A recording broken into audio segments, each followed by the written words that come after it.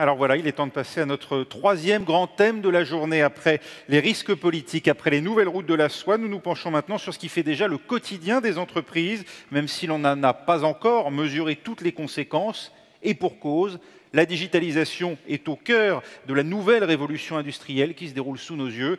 Elle affecte tous les acteurs, ceux qu'on appelle les digital natives, les pure players bien sûr, mais aussi les entreprises déjà installées dans les secteurs dits traditionnels et dont certaines ont choisi d'épouser, voire parfois de devancer les évolutions en innovant parce que c'est leur nature. C'est le cas de Valeo, dont j'appelle le président directeur général Jacques Achenbrois à venir me rejoindre et à prendre place à ce pupitre.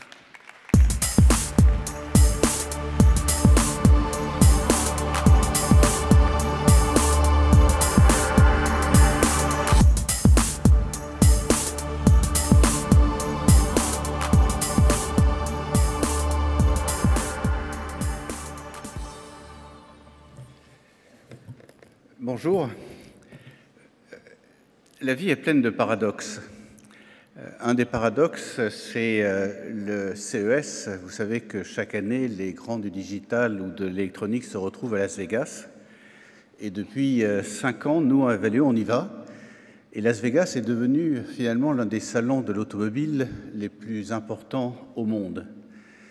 La semaine dernière, on a présenté, non, la semaine d'avant, donc il y a une dizaine de jours, on a présenté tous nos produits des voitures qui roulent toutes seules, euh, qui se garent toutes seules, des choses où l'électronique et le digital sont très intégrés dans les produits qu'on montrait à nos clients. Mais on profite aussi de Las Vegas pour présenter d'autres produits et on a présenté une voiture électrique basée non pas sur euh, des moteurs très fort voltage, très haute puissance, mais sur des petits moteurs qui ressemblent à des, à des alternateurs, des alternateurs un peu plus gros, ce qu'on appelle le 48 volts au lieu de 300 volts, 400 volts, etc. Et ce qui a fait le buzz, c'est cette voiture électrique 48 volts. Tout ça pour vous dire que finalement, ce qui est en train de se passer au niveau mondial aujourd'hui, ce sont de vraies révolutions technologiques dans beaucoup de domaines. Le digital en fait partie, mais ce n'est pas la seule révolution technologique et les entreprises comme la nôtre sont vraiment confrontées à de vraies révolutions et il faut qu'on soit capable d'adresser l'ensemble de ces révolutions. Alors, je vais les évoquer et montrer qu'elles sont à la fois complémentaires, mais aussi sensiblement différentes. Bien entendu, je, reviendrai à la fin de mon exposé sur le digital pour répondre à la question qui est posée. on est en train de vivre trois révolutions. La première, c'est l'évolution des motorisations. Euh, on est bien placé ici à Paris pour savoir que les maires des grandes villes se sont euh, appropriés un rôle de régulateur en régulant le trafic, mais aussi en donnant une solution. Vous avez vu peut-être ce matin que Mme Hidalgo a dit qu'elle allait faire un référendum à Paris ou une votation populaire pour savoir si on allait interdire ou pas le diesel dans les rues de Paris. On donne donc une solution qui serait une voiture qui n'aurait pas de diesel, mais peut-être une voiture qui n'aurait pas de moteur à combustion traditionnel, et on pourrait imaginer que dans quelques années, du reste ça a été dit officiellement, seules pourraient entrer dans Paris les voitures qui seraient purement électriques. Donc c'est la première fois que les régulateurs ne donnent pas des normes, des évolutions de normes, mais pourraient donner la solution. Et on voit très bien en Europe que le diesel baisse extrêmement rapidement. Donc le régulateur local, par les indications qu'il donne de prohibition, euh, il y a des octrois qui sont en train d'être mise en place autour des municipalités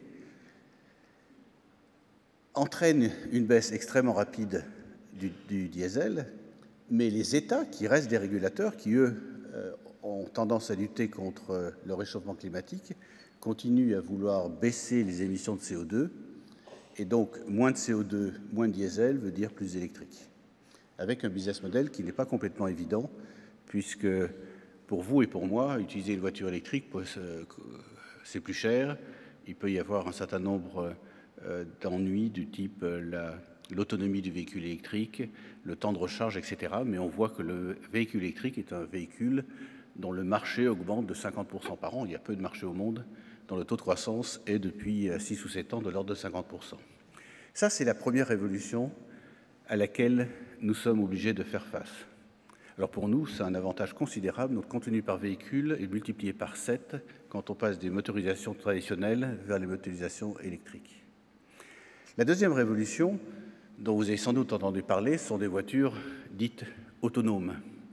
La voiture autonome, c'est par définition une voiture qui est capable euh, de se faufiler dans les rues euh, des grandes agglomérations euh, toute seule, sans pédale et sans volant, qui auront bien entendu une conséquence absolument considérable en termes de confort pour vous et pour moi si nous étions capables d'avoir une voiture autonome, mais aussi pour l'ensemble des, des, transports en commun et une flexibilisation, et j'y reviendrai dans un instant, une flexibilisation des transports en commun, parce que vous comme moi, quand on va dans les grandes villes, on s'aperçoit qu'il y a des zones entières réservées aux bus et que ces zones sont vides. Et quand il y a des bus qui sont sur ces voies réservées aux bus, les bus sont vides. Donc il n'y a pas une optimisation réelle euh, du, euh, des voiries euh, et de l'espace public réservé à la, à la mobilité. Et vous comme moi, on est absolument convaincus que la mobilité et le développement économique sont deux choses qui évoluent de pair. Donc ça, c'est la deuxième révolution, donc la voiture électrique d'un côté, la voiture autonome. Et puis la troisième révolution, c'est là où je viens au digital, c'est cette fameuse mobilité digitale. Alors, il y a un nom d'entreprise qui est devenu euh, un nom commun, qui est Uber, euh, et on voit que cette ubérisation de la mobilité euh, connaît une évolution extrêmement rapide. Et si je vous posais la question, d'abord, est-ce que certains d'entre vous ont utilisé Uber En général, quand je pose la question, euh, il y a très peu de personnes qui n'ont jamais utilisé Uber, donc je vais faire le pari que vous, avez, tous utilisé Uber. Mais si je vous posais la question, quelle est la plus grande innovation d'Uber Vous me diriez probablement que c'est la capacité de commander son, son véhicule ou euh, son VTC par le smartphone, la géolocalisation. Mais je ne pense pas que ce soit la meilleure euh, ou la plus frappante des innovations euh, d'Uber. La plus frappante des innovations d'Uber et la plus spectaculaire, c'est finalement faire comme dans les compagnies aériennes, c'est le yield management. Le prix dépend de la demande. Et vous avez certainement, vous qui utilisez Uber, la même expérience que la mienne, c'est quand il y a une demande très forte, vous devez accepter un multiplicateur du prix et ça m'est arrivé d'avoir, euh, moi personnellement, un multiplicateur du prix de 2,7. Donc vous acceptez de payer beaucoup plus cher pour avoir un véhicule quand la demande est plus forte. Et quand on va rencontrer Uber, et Uber est pour nous un client potentiel, parce qu'on peut lui vendre des équipements qui lui permettront à ces véhicules de devenir autonomes, ils suivent de façon extrêmement précise ce yield management et euh, la façon dont les prix évolue en fonction, des, euh, en fonction euh, des, de la demande, non pas pour maximiser le prix, mais pour au contraire faire en sorte que le service s'améliore. Donc il mesure le prix, mais en fait il mesure le temps que chacun d'entre nous met pour obtenir euh, son véhicule. Donc c'est l'amélioration du service. Alors pour reprendre l'expression du début, la vie est pleine de paradoxes. Et euh, on est dans une phase où le digital, c'est le nec plus ultra. C'est, euh, pour reprendre euh, le titre qui est affiché, c'est euh, la digitalisation pour contrer un risque de stagnation économique. Et si je prends deux des, sociétés qui sont représentatives du digital, je prends Uber d'un côté Airbnb de l'autre, on s'aperçoit qu'il y a une résistance extraordinairement forte et un conservatisme ambiant non moins fort. Regardez les villes dans lesquelles, les villes ou les pays dans lesquels Uber est interdit. Uber est interdit en Allemagne. Uber est pour l'instant interdit euh, à Londres. Et il y a beaucoup de villes qui tentent de limiter, voire d'interdire des entreprises du type d'Uber. Et c'est la même chose pour Airbnb. Airbnb, qui a cru comme feu de paille, se retrouve aujourd'hui dans beaucoup d'agglomérations régulées pour euh, l'influence néfaste qu'Airbnb peut avoir sur euh, la disponibilité de logements, voire euh, la concurrence sur les formes traditionnelles d'hôtellerie. Donc on est plein de paradoxes. Le premier paradoxe des entreprises comme les nôtres, mais j'ai parlé de Valeo, j'aurais pu parler de beaucoup d'entreprises. Il y a beaucoup de, révolutions technologiques auxquelles il faut faire face et la digitalisation en est l'une d'entre elles. Et la digitalisation, après avoir été considérée comme le signe du modernisme, se retrouve dans beaucoup d'endroits comme finalement le vilain petit canard et euh, une source de dérégulation, de, finalement de déstabilisation euh, des marchés traditionnels. Cela étant, la digitalisation, elle est indispensable. Et il y a deux types de digitalisation qu'il faut, à mon avis, totalement séparer. La première, c'est la digitalisation comme source d'optimisation et comme source d'amélioration de la productivité ou de la compétitivité de nos entreprises. Il y a énormément de potentiel d'économie grâce à la digitalisation. Dans nos usines, euh, dans nos euh, coûts administratifs. Et euh, quand on regarde les progrès, c'est assez intéressant ce qui a été évoqué tout à l'heure, dire que le nombre de robots en Chine est supérieur au nombre de robots en Europe. On le vit exactement dans nos entreprises, mais pour deux raisons totalement différentes. En Europe occidentale, on met des robots pour économiser les coûts, pour essayer de se rapprocher des coûts de pays à faible coût, que ce soit ceux d'Europe de l'Est ou ceux de certains pays émergents. Dans le même temps, dans certains pays de l'Est ou en Chine, on met des robots pour faire face à une pénurie de main-d'œuvre.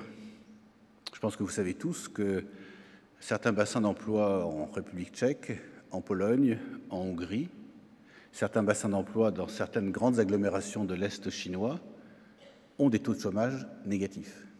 Et donc, euh, c'est un jeu de bonne taux, on se repasse le personnel d'entreprise en entreprise. Et la seule façon de faire face à la croissance qu'il y a dans ces pays-là, c'est de robotiser à l'extrême. Et pour nous, le taux de croissance de la robotisation, c'est-à-dire quand on regarde le nombre de robots pour 10 euh, 000 euh, employés, c'est une des mesures qu'on utilise, croît plus vite aujourd'hui dans nos usines à faible coût de main-d'œuvre, donc dans des bassins d'emploi à taux de chômage très faible, voire négatif, l'Europe de l'Est et euh, les pays d'Asie, dont, euh, la Chine, que dans les pays traditionnels euh, de type Japon, Corée ou Europe de l'Ouest. Ces efforts d'optimisation de nos processus industriels, de nos processus administratifs, sont sans fin.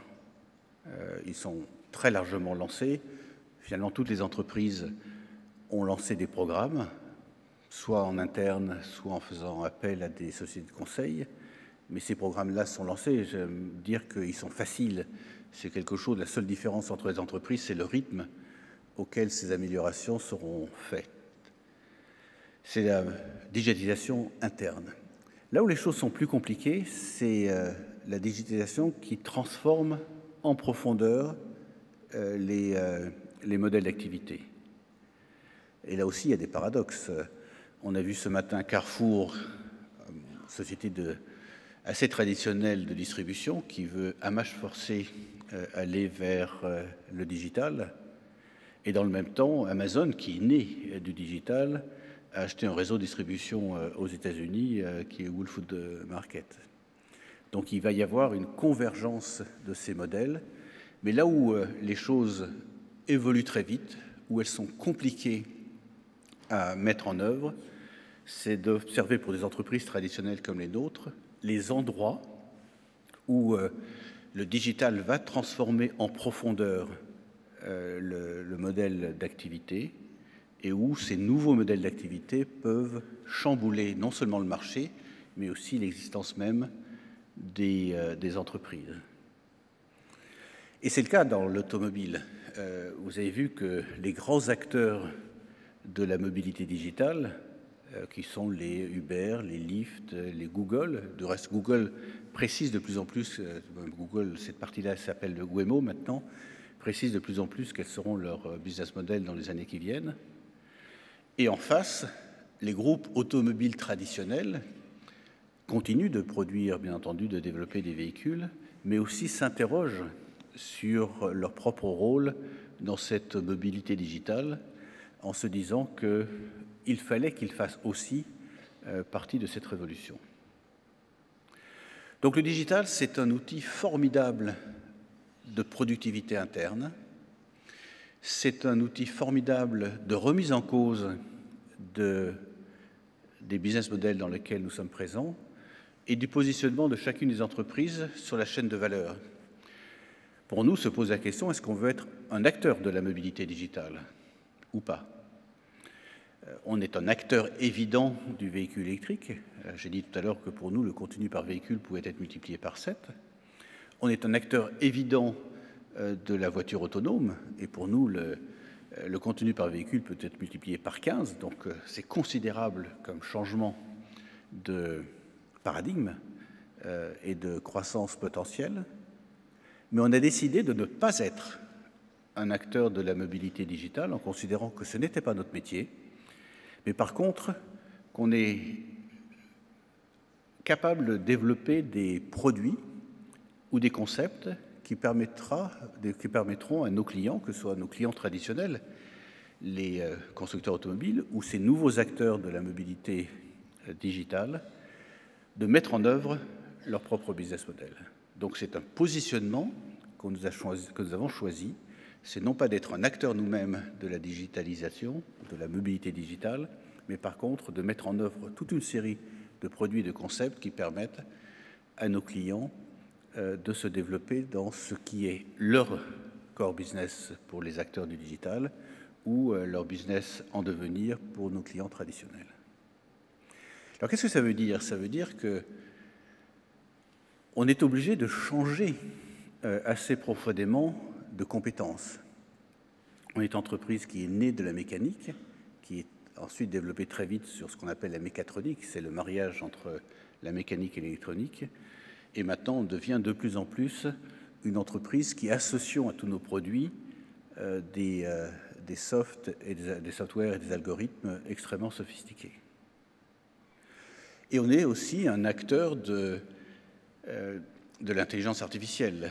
Tous nos produits contiennent une dose euh, qui peut être extrêmement importante d'intelligence artificielle. On a aujourd'hui dans nos équipes 80 personnes qui euh, s'occupent d'intelligence artificielle, ce qui n'est pas complètement ridicule par rapport aux grands acteurs du digital.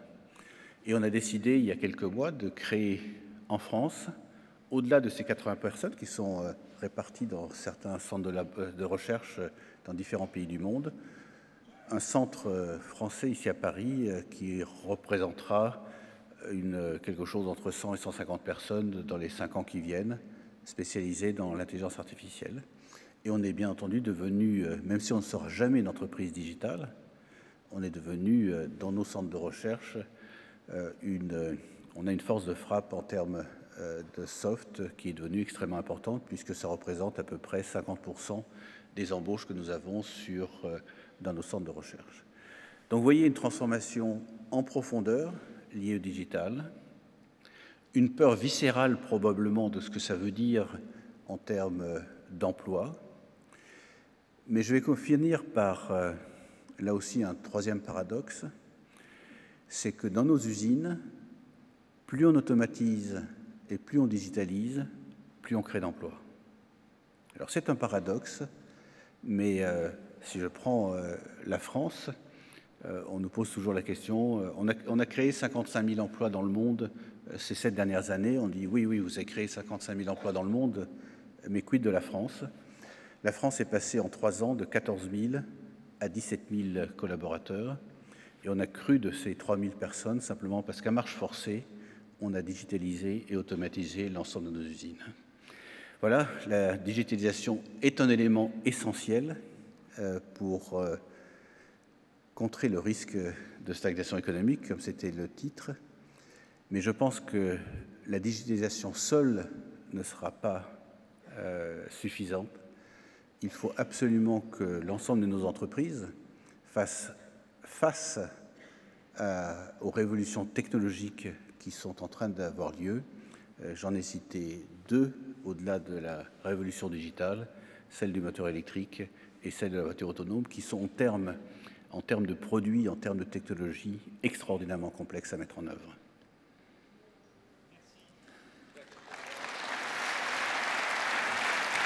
Si vous voulez bien me rejoindre à présent, pour compléter votre présentation, de quelques questions, parce que c'est vrai, hein, il y a énormément de choses euh, à dire sur euh, l'investissement de Valeo aujourd'hui dans ces nouvelles technologies. Vous venez de le dire, énormément d'emplois créés à travers la digitalisation de votre groupe. Entreprise française, Valeo, mes premiers pays en termes de chiffre d'affaires aujourd'hui, c'est la Chine. Ça demande évidemment, on l'imagine, de s'adapter. Quelle différence voyez-vous d'approche dans la notion même euh, de digitalisation entre la Chine et la France ou entre la Chine et l'Europe? Et quelles leçons en tirer pour nous, Européens, et sur les marchés européens? Je pense que ce sera probablement le quatrième paradoxe. On a toujours la tentation de penser que la zone au monde où il se passe le plus de choses, c'est la Silicon Valley. Et c'est vrai qu'on euh, a un certain nombre de clients potentiels dans la Silicon Valley. Je vais une fois par an dans la Silicon Valley rencontrer euh, tous les acteurs du digital qui euh, ont décidé d'investir dans le monde de la mobilité. Mais je pense que le pays qui est le plus frappant le plus spectaculaire, c'est la Chine. Euh, la Chine est devenue une énorme Silicon Valley, euh, à la fois euh, à Pékin, mais aussi à Shanghai, et aussi dans la zone de Shenzhen. Et quand on voit le travail qu'ont fait des groupes comme Alibaba, comme Tencent, comme JD.com, etc., c'est extraordinaire ce qu'ils ont fait en quelques années. Alors peut-être qu'ils ont un marché protégé qui leur a permis de se développer dans une zone où ils étaient euh, avec un marché intérieur considérable. Mais quand on regarde euh, les systèmes de paiement, la partie de commerce digital, l'alliance entre, pour GDCOM par exemple, entre le digital et la distribution physique, je pense qu'ils sont en avance sur les États-Unis, comme on peut partir du principe que les États-Unis sont en avance sur l'Europe, la Chine est en avance sur l'Europe. Parlez-nous en détail de, Valeo.ai. C'est le premier centre de recherche mondial hein, consacré à l'intelligence artificielle et au deep learning dans les applications automobiles. Là où euh, il a fallu qu'on investisse dans l'intelligence artificielle, euh, c'est bien entendu euh, sur la voiture autonome. on peut imaginer des euh, des, évolutions déterministes, c'est-à-dire qu'on a des softs qui permettent d'envisager les billions de combinatoires possibles euh, pour aller d'un point A à un point B en rencontrant euh, toutes sortes d'obstacles, de voitures qui bougent ou de vélos qui bougent ou de, ou de piétons qui bougent dans tous les sens. Mais on s'aperçoit qu'il y a une limite à cette évolution déterministe et qu'il faut être capable d'apprendre, d'apprendre de certaines circonstances et donc, on a petit à petit développé euh, des, des, systèmes d'intelligence artificielle qu'on embarque dans nos produits et qui permettent à nos produits d'apprendre. Il, y, a un des acteurs de la mobilité digitale qui a dit, mais finalement, si ma voiture est bardée d'intelligence artificielle, il va falloir un jour ou l'autre qu'elle passe son permis de conduire. Euh, et chaque fois qu'il y a des changements significatifs dans euh, les algorithmes, il va falloir qu'elle repasse son permis de conduire. Et ça, c'est un sujet réel. Alors, il faut le dire sous le terme de la plaisanterie, mais euh, on s'aperçoit que les, euh, les, véhicules, par cette intelligence artificielle, sont devenus, comme vous et moi, des entités qui apprennent, qu'il va falloir vérifier que la façon, que l'apprentissage va dans le bon sens. Et nous, on, essaye, on s'est fixé un défi. Alors, je pensais qu'on garderait ce défi relativement confidentiel jusqu'à ce qu'on y arrive. Mais l'un des défis qu'on s'est lancé, c'est de traverser la place de l'Étoile avec une voiture autonome euh, en heure de pointe. Euh, ceux d'entre vous qui ont essayé, c'est pas toujours très facile, surtout quand il pleut.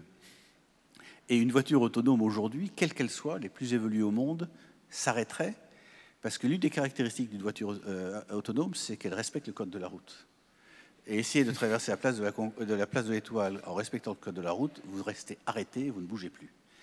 Donc on s'aperçoit que ce seront des, euh, évolutions euh, extraordinairement complexes. C'est né évidemment euh, pour nous dans cette partie de, notre, de notre groupe qui croît de façon extraordinairement rapide et pour lesquels on investit beaucoup plus en RD qu'on investit en machines. L'enjeu, on le pressent hein, dans cette révolution digitale, l'enjeu primordial, c'est celui de la compétence, de la guerre des talents, au-delà de l'intelligence artificielle en tant que telle. C'est le problème numéro un.